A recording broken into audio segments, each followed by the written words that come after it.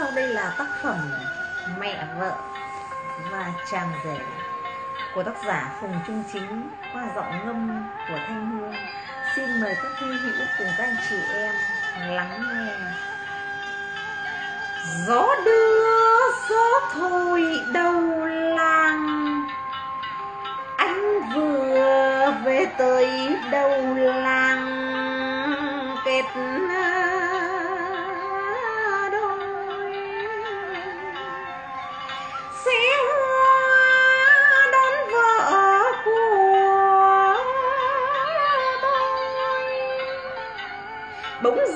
cô ấy xa xôi, lạnh lùng.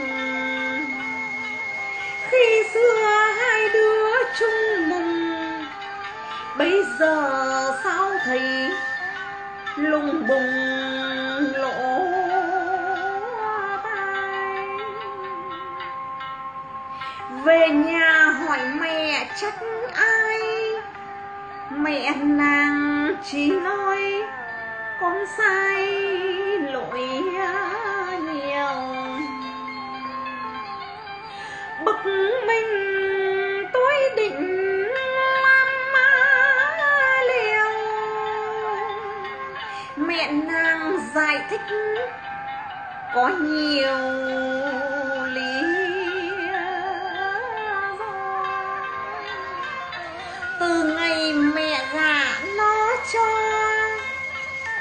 con làm nó khổ, chứ nó được gì?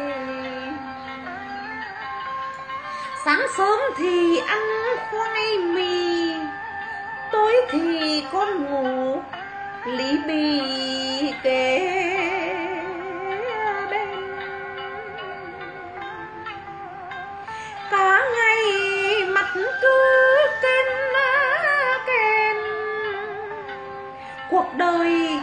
con chẳng gặp hên còn nghèo? Đi chơi chẳng dẫn vợ theo. Sáng say chiều xin thét gào chiếm bao.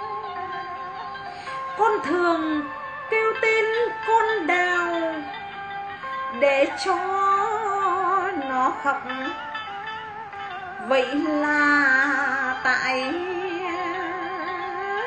sao? Tiếng lòng con ở nơi nào?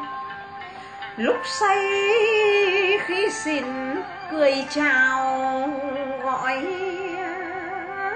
ai?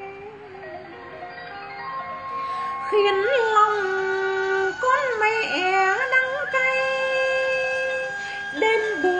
khóc lóc. Vậy thì làm sao? Bây giờ bày đặt làm cao qua đây hỏi mẹ, cớ sao? Làm gì? Phải chi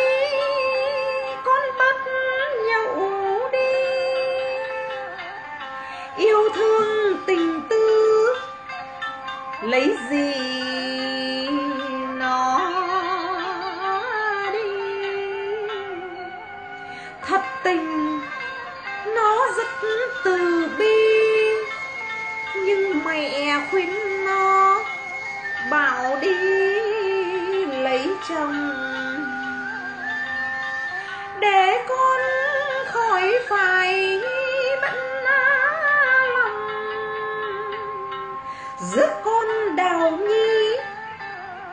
đậm phong cùng say.